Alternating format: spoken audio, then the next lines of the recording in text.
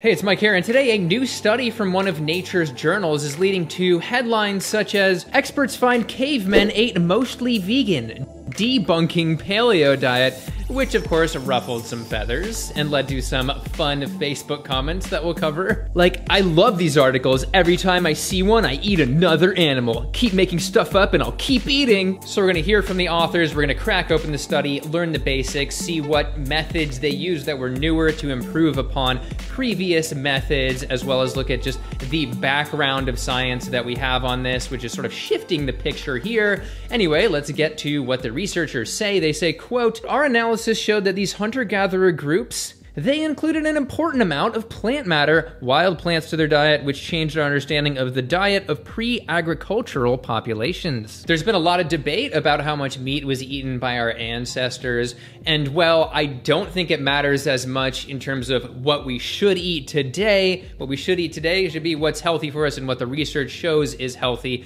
And in terms of a plant-based diet, we see lower disease rates, etc. Stuff I talk about all of the time. But I'm also just really interested in archaeology, so I love this stuff. And then we also have people on like the carnivore diet saying that humans just ate meat throughout human history, and so we're designed to only eat meat, otherwise things go wrong. You know, denying the fact that red meat is a carcinogen according to the WHO for us, but uh, not for lions. Anyway, you get that point. But let's get to the question of bias first. Sometimes I like to hit that as well well as funding. Was this all just part of some weird vegan propaganda? Like this one Facebook person says, vegans clearly wrote this dodgy article. However, there's no indication that any of these authors are vegan, and there's several of them which have used roughly the same title, perhaps to make people like this person engage with it and get them more clicks. But also to the authors of the article, no indication that they were vegan at all, especially, you know, vegans don't tend to use bovine liver powder as a control.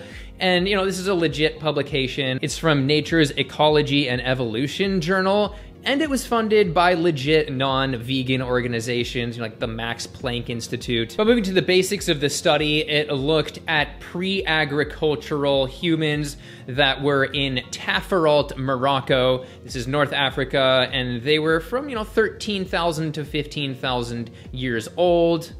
The bones, not the people, and I should emphasize that they were people. These are Homo sapiens, which apparently some people missed. I mean, to one Facebook commenter responding to the notion that they were mostly vegan with, and now they are extinct. But no, Homo sapiens are not extinct, and I'm assuming he's mixing them up with Neanderthals, which have bred into us, so they're technically extinct, but they also kind of live on through us. Some of us have a little bit more Neanderthal than others. You probably know one of those people off the top of your head, but I will say Neanderthals get a bad rap. First of all, they dominated Europe for 300,000 years, virtually all of that without humans until 40,000 years ago. Anyway, what about the methods of the study? Well, they used a comprehensive multi-isotopic approach, which included zinc, strontium, carbon, nitrogen, and sulfur isotopes in bone and teeth. And as they say, some of these are new isotope tracers that are more sensitive to plant consumption. And what is this actually showing? Well, looking to our classic isotopes, which is carbon and nitrogen,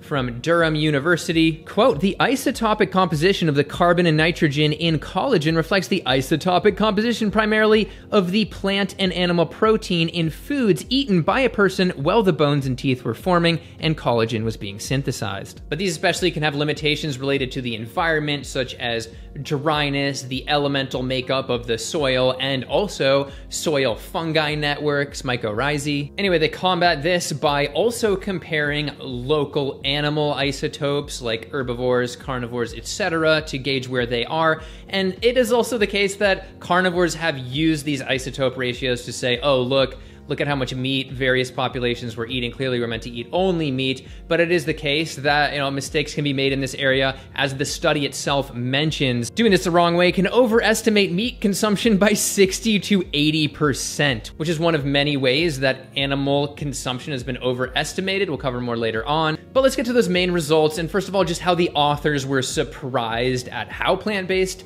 these people were. Quote: Our results unequivocally demonstrate a substantial plant-based component in the diets of these hunter gatherers.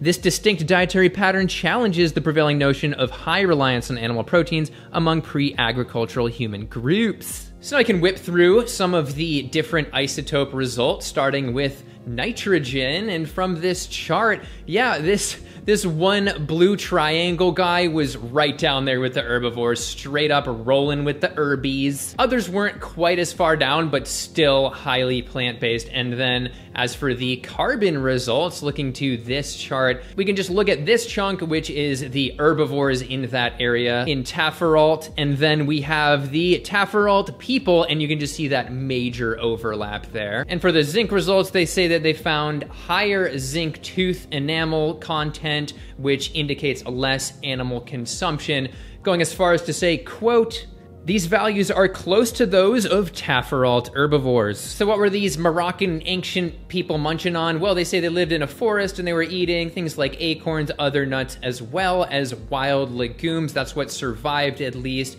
And they also go as far as to hypothesize that, you know, the children in this group were weaned onto starchy foods. But it is worth mentioning that by no means was this population fully vegan. The researchers say, quote, it must be stressed that the Taforalt humans studied here were not strict vegetarians. A ridiculous word for vegetarian, but a great word for a vegan Italian restaurant. And I wanna say this fits into a growing picture that, yeah, our ancestors weren't fully vegan. Why would they choose to not eat something that is available to them? But it's also the case that we probably weren't eating as much meat as people thought. I mean, we have this study which also shattered some paradigms, which adjusted for sampling bias at archaeological sites and bones and things like that, and found really no increase in human meat consumption during key brain growth periods. I have a whole video on that one. And there's just how technology is advancing, and we have just various other biases, like as this study even mentions, that obviously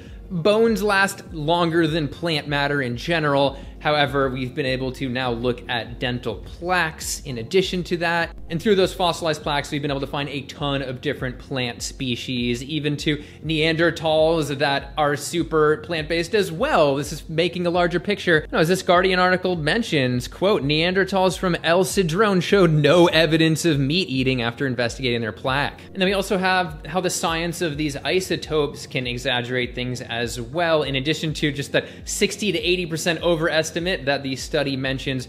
We also have, as they say, how cooking through charring can actually increase the nitrogen 15 isotope count which can make plants eaten by humans look more like they were eating animal products. In the end, I once again don't think that what prehistoric people ate should have the ultimate bearing on what we eat. I mean, we have a lot of evidence of, you know, cannibalism in the human past. That's not like a justification that we should all be cannibal or prescription for it.